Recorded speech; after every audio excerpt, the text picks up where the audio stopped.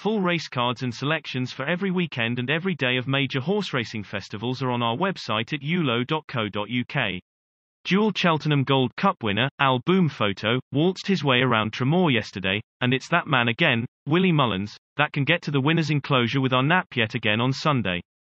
Braun runs in the same two-tone green silks of Simon Munir and Isaac Souede, and he can land the maiden hurdle that follows the feature, the Group 1 Lawlor's of Naas Novice Hurdle, where we'll be sticking to our guns and backing Jinto once more.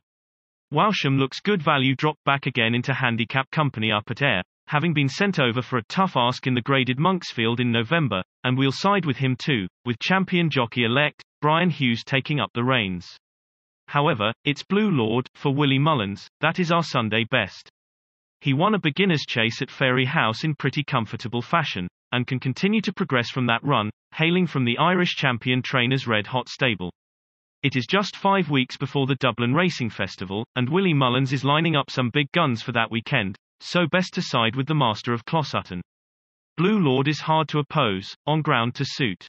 Out in West Sussex, Annual Invictus is our next best, featuring in a tactical three-runner field at Plumpton. He has a terrific record around on this track, and can figure once more against likely favourite, Nassalam. The jolly is from local trainer Gary Moore's West Sussex base, but Annual Invictus clearly likes it around here, so gets the nod from the Yuulo office.